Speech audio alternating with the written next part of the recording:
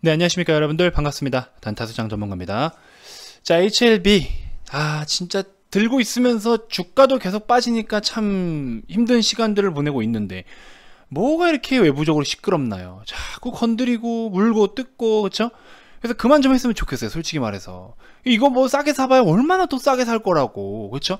그냥 지금부터 사들고서 올라가는 거에다가 차라리 더 기름을 부어버리면 되지 뭐를 얼마나 더 싸게 사서 이거를 그 큰 수익을 챙기겠다고 그렇게 물고 뜯는지 모르겠습니다. 여러분들 정말 힘든 시간 보내실 거 좀 아는데요.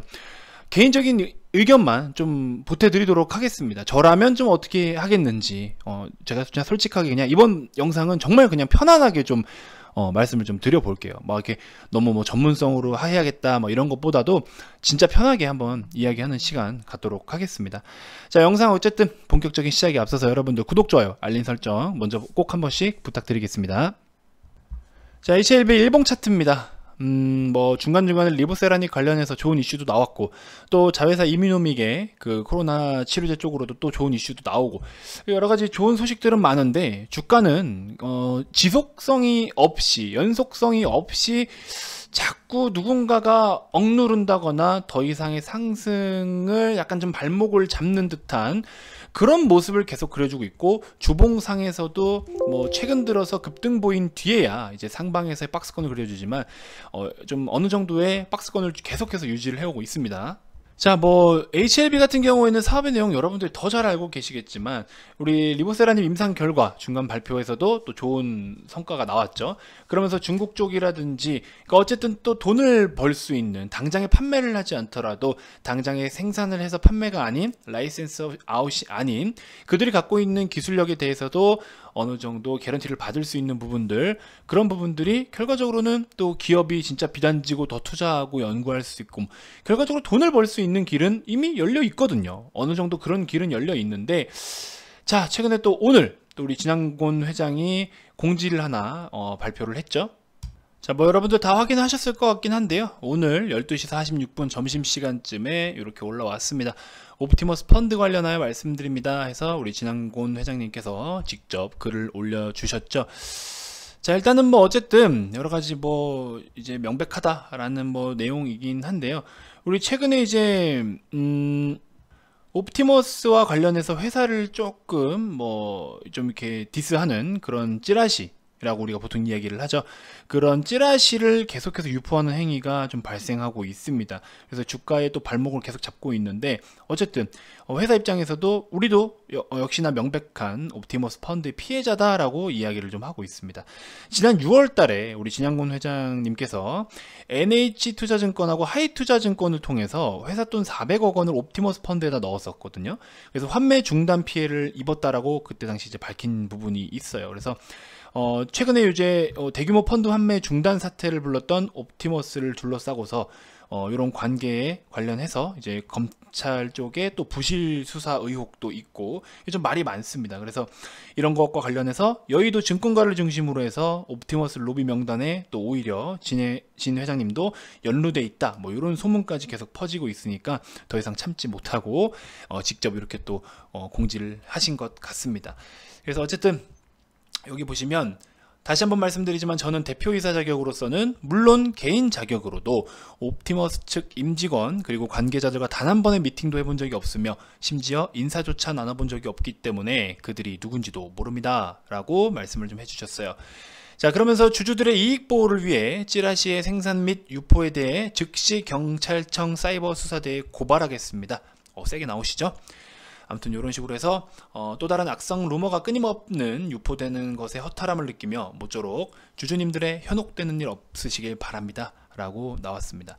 어, 여러분들이 정보를 어떤 식으로 이제 확인을 하시는지는 모르겠지만요. 저 같은 경우에도 사실 진짜 장투하시는 분들은요. 기사를 먼저 찾아야 될 게 아니고요. IR 쪽의 공시라든지 어, PR의 공지상 이런 쪽에서 이슈들을 확인을 하시는 게 더 정확하고 빨라요. 만약에 여기 올라오는 게 좀 늦다라고 하시면 정말 궁금한 사람들은요. 바로 주식 담당자한테 전화해요. 바로 주당한테 전화 때립니다. 그게 제일 확실한 거거든요. 그러면 지금 뭐 이런 내용들 막 떴을 때 이거 좀 사실인가요? 물론 알려줄 수 있는 내용도 있고 아닌 내용들도 있겠죠. 근데 뭐 대부분이 좀 어, 확인을 좀 해봐야 될 것 같다라고 이야기를 하는 경우가 있는데 그게 아니면 뭐 이제 웬만하면 또 회사에서 이야기를 잘 해주기도 하거든요. 그래서 저 같은 경우에는 뭔가 문제가 생겼다라고 하거나 어, 좋은 내용이 떴는데 뭔가 찝찝하거나 기타 등등 여러 가지를 저는 주담한테 전화를 하는 경우가 좀 많아요. 뭐 안 알려주는 경우도 많기는 한데 좀 약간 뉘앙스를 풍기는 걸 보면 대충 감이 옵니다. 그래서 그런 거 참고해서 좀 코멘트를 하는 경우도 있고 어쨌든 회사의 공식 입장 자체가 중요하다라는 거. 그래서 여러분들이 장기 투자하시는 분들이라면요. 그런 거에 우선적으로 포커스를 좀 두셨으면 좋겠습니다. 자, 최근에 우리 신한금투 쪽에서의 그 지속된 어떤 매도 물량 때문에 또 불법 공매도 의혹이 좀 있었죠. 그래서 대차거래 잔고 추이도 보면은 뭐 어느 정도 유지는 계속 되고 있는 상황인데 사실 그런 부분들이 거기에 이제 나타나는 부분들이 합법적인 공매도, 지금 물론 공매도가 계속 몇 개월 동안 어, 거래가 이루어지고 있지는 않긴 하지만 불법 공매도는 이루어지고 있다라는 이야기가 계속 나오고 있어요. 그래서 외국계 창구를 통해서 무차입 공매도가 이어지고 어, 계속 이제 거래가 되고 있다라는 내용들도 좀 많이 보도되기도 하고 많은 투자자분들께서 좀 걱정하고 있는 부분들이기도 한데 좋은 기업일수록 그렇게 진짜 물고 뜯어요 자꾸 그래서 결과적으로 어, 그들이 원하는 게 뭔지는 잘 모르겠습니다만, 단기적인 시세를 노리는 건지, 정말 멀리 보고 가려고 하는 건지, 참 멀리 본다라고 하면 물론 지금 어느 정도는 그들이 물론 공매도는 정말 싸게 사는 게 당연한 거긴 하지만 어느 정도 주가를 뺐으면 어차피 이 기업이 가야 될 목표치는 저 멀리 있잖아요. 그럼 upside가 정해져 있는데 이 upside를 좀 더 넓혀버리겠다라는 거잖아요. 그들의 의도는. 근데 사실상 공매도도 일정 기간 내에 그걸 상환을 해야 되기 때문에 오래 가져갈 수도 없어요. 그러니까 최대한 기술적 반등 같은 그런 탄력도 노리는 거죠. 급락을 보였을 때 다시 급등을 보이는 경우도 많아요. 좋은 기업인 걸 알고 있으니까 싸다 하고서 더 사들이는 경우도 많다라는 거죠. 그래서 오히려 셀트리온도 마찬가지지만 우리 서정진 회장도 공매도들하고 전쟁 선포를 했잖아요. 아예. 그렇죠? 그것처럼 좋은 기업을 가지고 그렇게 공매도 매매를 많이 좀 하는 정말 그런 불특정 세력들이 있긴 있어요, 사실. 없다라고는 단정 지을 수는 없습니다. 있습니다. 있는 건 사실인데 이걸 정부가 좀 규제를 하긴 해줘야죠. 어? 불법적인 거 규제를 해줘야죠. 그냥 세금이나 더 빼먹으려고 하고 있고 대주주 양도세 관련해서도 이 증시에는 어, 왜 이렇게 이렇게 아니라는지를 모르겠어요. 솔직히 말씀드리면 우리나라는 미국 같은 경우에 보세요, 여러분들 외국 계 자금이 자 쉽게 말씀드리면 자 어, 401k 플랜 아시죠, 여러분들? 401k 플랜이라는 게 뭐냐면 이제 국민연금처럼 해가지고 주식에다가 투자를 하는 그런 거예요. 우리 퇴직연금도 있고 뭐 국민연금 있고 그런 거 있잖아요. 그렇죠? 그런 것처럼 미국 사람들은 근로소득의 일정 범위를 연금 같은 걸 넣지 않으면 이걸 가지 이 401k 플랜이라는 어, 상품을 가입을 해가지고 이걸 통해서 주식 시장에다가 투자를 하게 됩니다. 그러면 주식 시장에 투자하게 되면 이게 60세인가 65세부터 이거를 이제 찾을 수가 있어요.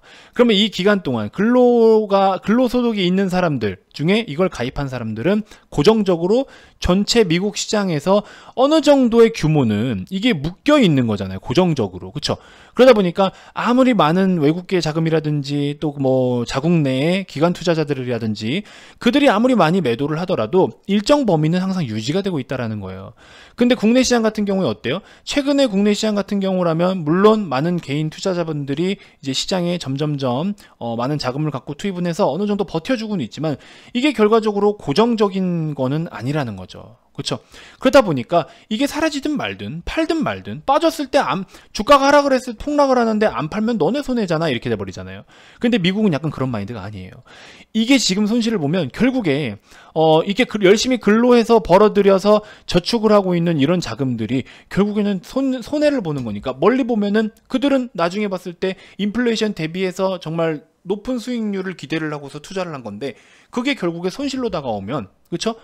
그러면 결국에 국민들을 잘 살게 할 수 있는 발목을 잡아버리는 셈이 되는 거예요. 그래서 미국 같은 경우에는 주가에 예민한 거고 대통령도 주가에 굉장히 민감하게 반응을 하면서 주가에 더 신경을 쓰는 거고 그래서 트럼프도 미중 간의 갈등 속에서 어, 주가가 그래도 상대적으로 괜찮게 올라왔을 때 중국 때리기를 하고 그러면 다시 조정받으면 잠깐 조용했다가 반등 보여주면 또 중국 때리기를 하고 그러잖아요. 우리나라는 그런 게 없어요. 남잘 되는 꼴을 못 보는 건지 뭔지 모르겠는데 우리나라는 그런 게 없어 너무 아쉬워요. 지금도 그저 세금 세금 세금 세금 그냥 세금. 저도 세금 때문에 자꾸 골아파 죽겠는데 뭐 착실하게 잘 내긴 하지만 아 세금 너무 많이 떼요. 너무 많이 뗍니다. 물론 진짜 뭐 내야 되는 건 당연한 건데 솔직히 말씀드리면 내야 되는 건 당연한 건데 아, 뭐 그렇습니다. 아무튼 그래요. 뭐배 아파하는 건, 하는 건 아니지만 아무튼 뭐 그래요. 그래서 우리나라 같은 경우 이런 플랜 자체가 없기 때문에 이거에 대해서 주가에 대해서 크게 고민하고 고려하지 않는다라는 게 좀 아쉽습니다. 우리도 진짜 선진국들처럼 이 주가에 좀 더 민감하게 좀 조심하게 잘 다뤄주고 주식 시장을 조금 더 쾌적한 환경으로 만들어 줬으면 좋겠어요. 이걸 자꾸 악용해서 뭔가 할 생각보다도 이 시장 자체를 좀 키워나가고 그렇죠? 우리나라도 지금 국민연금 보면 여러분들 2055년부터 인가 했을 때 그때 되면 다 고갈된대요. 그때 이후로는 어, 그 당시에 이제 노인층들한테 2055년부터 받을 수 있는 그 수령할 수 있는 대상자들한테 더 이상 지급이 안 된다라고 해요. 이런 흐름으로 가면. 국민연금도 결국에 국민연금의 총 자산을 회전시킬 수 있는 금액 중에서 30%는 주식시장에서 운영을 하게 되어 있어요. 근데 이번에야말로 뭐 V자 반등을 통해서 소, 수익은 좀 잘 봤을지 모르겠지만 결과적으로 증시가 계속해서 반등을 주지 못한다라고 놓고 봤을 때 물론 가겠지만 왜냐면 인플레이션에 따라서 주가는 가겠지만 이런 부분들이 좀 아쉽다라는 거예요. 만약에 거기에 대한 수익률이 적어버리면 결국에 쎄 빠지게 일해서 돈 넣었던 그런 사람들은 못 받게 되는 거예요. 자기가 넣은 돈 자기, 자기한테 한 푼도 돌아오지 못하는 상황이 될 수 있는 거죠. 그러면 기본적으로 이 증권 시장 자체를 어느 정도 좀 이렇게 돈독하게 해놓고 한다라고 하면 충분히 진짜 다 같이 잘 살 수 있는 것 중에 하나인데 맞죠? 열심히 일해서 월급 가지고 모아가지고 진짜 큰 부자 된 사람 있어요? 월급 모아서 월급만 모아서 없잖아요. 진짜 뭐 집을 샀는데 그 집이 우연히 크게 뻥튀기가 돼서 진짜 뭐 뭐 큰 차익 시세를 얻었다가 그거 가지고 또 다른 부동산 투자해서 뭐 어쨌든 투자를 해서 자산을 좀 확대시켜야 되는 거잖아요. 월급만 가지고는 힘들어요. 월급을 모아서 적금을 넣어두면요. 인플레이션도 못 따라가요. 인플레이션이 금리를 못 따라가는데 오히려 손해라니까요. 적금을 넣고 있으면 손해예요. 그래서 자꾸 재테크 재테크 주식 부동산 하는 이유가 그런 거잖아요. 누구나 다 부자는 되고 싶어요. 그래서 이런 부분이 좀 아쉬운데 어쨌든 이야기가 많이 좀 새 나왔지만 반드시 이런 불법적인 거 정말 물리치고 그냥 합법적인 공매도는 사실 어느 정도는 있어줘야 그래서 솔직히 말씀드리면 어느 정도는 있어줘야 어, 이 시장이 조금 뭐랄까요 어, 순환이 좀 이루어지면서 피가 좀 도는 듯한 느낌이 있어요. 몸 안에 좀 좋지 않은 우리 뭐 바이러스들을 갖고 있, 있듯이 약간 그런 것들이 있는데 어, 아무튼 제 생각은 그렇습니다. 불법 불법적인 건 당연히 원치 않죠. 그래서 그런 거는 빨리빨리 좀 퇴치하고 그 다음에 적정선에서의 공매도라든지 혹은 또 이런 좋은 플랜들 우리 선진국들처럼 진짜 이런 플랜들을 가지고 우리가 진짜 우리나라 인덱스 펀, 인덱스 펀드 자체에도 투자했을 때 매력이 높을 만한 상품들 그리고 그렇게 투자했을 때 어, 기대 수익률이 좀 높을 만한 그런 것들은 반드시 좀 우리나라도 개선을 해나가야 된다라는 겁니다. 어쨌든 어, 다시 한번 본론으로 좀 돌아와 보면 HLB 같은 경우 여러분들 뭐 자꾸 주워 담고 추가 매수하고 뭐하고 하지 마세요. 갖고 있는 물량만 그대로 해서 그냥 일단은 가져가 봅시다. 어, 진양곤 회장의 성격도 보시면 여러분들 잘 아시겠지만 여러분들을 절대 실망시킬 사람은 아니라고 저는 봅니다. 그래서 지금 또 임상 3상이라는 거는 3상이라는 거 단계 자체가 그동안에 거쳐왔던 시간들이 얼마나 고되고 많은 비용을 투자를 하고 잘 견뎌왔습니까? 3상에서 또 좋은 성과 있었고 그렇죠? 그거에 대한 그 파 이프라인에 대한 또 개런티도 받, 고 있고 여러 가지가 좋은 흐름으로 이어가고 있기 때문에 지금은 여러분들이 정말 기업의 자체와 시간적인 투자가 좀 더 필요로 하다라는 점 전 다시 한번 말씀을 드리고요. 분명히 해낼 수 있습니다. 저는 비록 보유는 하고 있지 않지만 HLB 주주님들께 다시 한번 응원의 말씀을 드립니다. 분명히 이겨낼 수 있어요. 아시겠죠? 여러분들이 멘탈 관리 잘 하셔야 돼요. 섣불리 막 그냥 내다 던지고 뭐하고 뭐하고 할 필요는 굳이 아직은 없다라고 봅니다. 물론 앞으로 임상 데이터가 혹은 뭐 좀 잘못 나오는 경우나 좋지 않은 혹은 기대치에 못 미치는 수치가 나올지언정 그때 되면 그때 가서 대응하면 돼요. 하지만 지금은 그런 대응을 섣불리 하기에는 오히려 더 손실만 키운다라는 거예요. 여러분들 계좌만 쪼그라드는 거예요. 그냥 굳건히 가져가시면 좋을 것 같습니다. 아시겠죠? 그래야 또 여러분들이 단타 같은 것도 수익을 낼 수가 있겠죠. 그렇죠? 그래서 제가 한번 또 팁을 드리면 어, 앞전에 영, 언급을 드렸던 셀리드 같은 것도 그렇죠? 단타로서 수익을 또 챙길 수가 있었고 완전 장투하시는 분들은 그냥 장투하시면 돼요. 장투하시는 분들은 장투하시면 되는데 그래도 좀 재미를 보면서 내가 자꾸 HLB 빠지는 거에만 어, 바라보면서 너무 좀 스트레스 받는다 싶으신 분들은 단타로서 이런 것들 좀 수익을 같이 또 챙겨도 되거든요. 그래서 VIP님들은 이런 식으로 수익 잘 챙기고 있다라는 거. 단타도 어려우신 분들은 저희 VIP 방에 오시면요. 이런 단타 종목들 꾸준하게 수익 챙기실 수 있도록 제가 또 좋은 종목들 많이 소개를 좀 해드리도록 하겠습니다.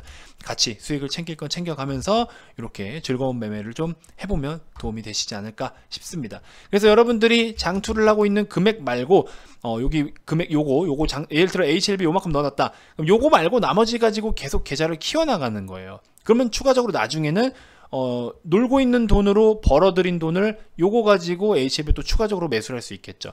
그래서 여러분들 시드 안에서만 매매를 하면 요것만 비중이 자꾸 커져가는 거잖아요. 이렇게 말고 어, 이제 남는 자금으로 이걸 파일을 키워서 키운 파일을 다시 HAB로 또 투자하는 이런 식의 매매도 좋지 않겠나 하는 생각이 듭니다. 그래서 중장기 종목들은 제가 이런 식으로 효율적으로 좀 매매를 하자라고 많이 말씀을 드려오니까 뜻이 맞는 분들은 또 동참하셔서 같이 우리 또 재밌는 그렇죠? 스트레스 스트레스 받지 않는 재밌고 즐거운 매매를 좀 같이 해보자고요. 아시겠죠?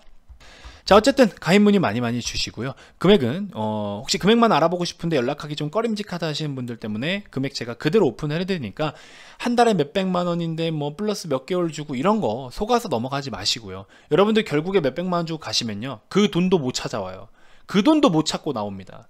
그런 거 하지 마시고 그렇죠 부담 없이 접근하셔서 부담 없이 적당히 재밌게 또 열심히 배울 게 있는 그런 전문가와 그런 회사를 찾아주셨으면 좋겠습니다. 제가 자신있게 말씀드릴게요. 아시겠죠? 또 중간에 오늘 같은 경우에도 우리 VIP 회원님들 대상으로 라이브 방송을 진행을 하는데 라이브 방송을 통해서 뭐 조건 검색식이라든지 여러 가지를 또 무료로 제공을 해드릴 계획이에요. 그걸 왜 돈을 받고 해요? 그거를. 여러분들이 이미 가입 비용을 지불했으면 됐지.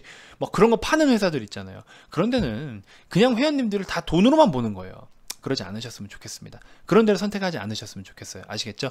어쨌든 저는 여러분들 부담 없는 선에서 꾸준하게 같이 오래오래 함께 하고 싶습니다. 이게 제 이쪽 업, 제가 이 업을 하면서의 저희 목표예요. 성실하게 오래 즐겁게 하자. 딱 이거니까 뜻이 맞는 분들 저랑 함께 하셨으면 좋겠습니다. 자 어쨌든 가입 문의 많이 많이 주시고요. 가입 관련돼서 추가적으로 더 궁금한 게 있거나 가입 의사가 있으신 분들은 아래 이 번호로 성함만 문자로 발송을 해주시면 되고요. 기타 그 밖에 영상으로도 충분히 도움이 된다 하시는 분들은 영상 종료 전에 반드시 구독, 좋아요, 알림 설정 꼭 부탁드리겠습니다. 자 다음 영상에서도 제가 더 좋은 정보들로 인사드리도록 하겠습니다. 지금까지 단타수장 전문가였습니다. 고맙습니다.